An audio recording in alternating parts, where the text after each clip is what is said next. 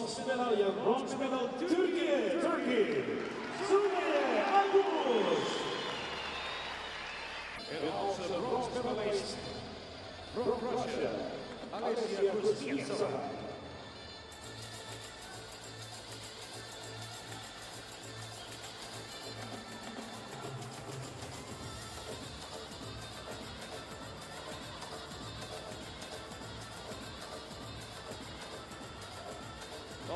To the bronze medal man under the 60 kilo.